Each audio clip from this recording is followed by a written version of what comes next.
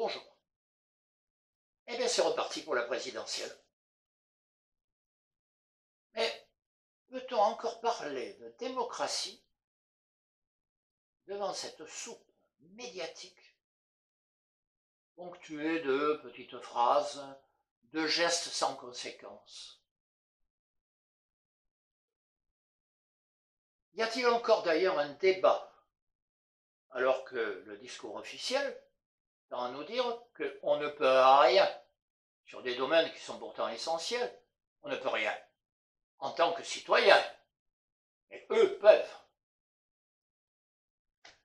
Dans des domaines essentiels, l'économie, le social, le climat, la santé, etc., etc. Toutes choses qui, paraît-il, sont mieux gérées par les experts dans le cadre d'un monde mondialisé ou d'une grande Europe. Dans un tel cadre, peut-on encore dire que le regagnant sera l'élu du peuple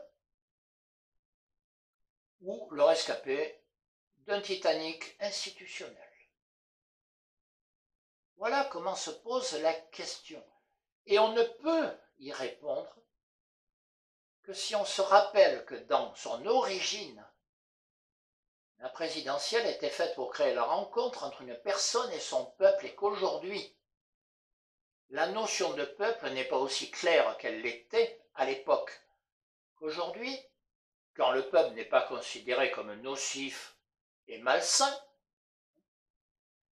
il est quand même censé se diluer dans les contraintes de la mondialisation ou de la Grande Europe dont je viens de parler.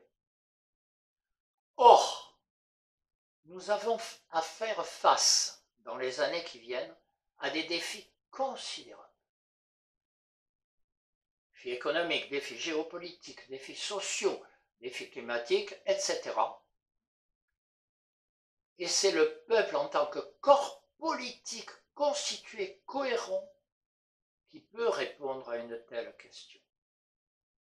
Et donc la priorité ne devienne pas de désigner une personne, mais de reconstituer ce corps politique. Et le moyen de le reconstituer est la constituante. Et c'est pourquoi je dis non à l'élection présidentielle, oui à l'élection d'une constituante.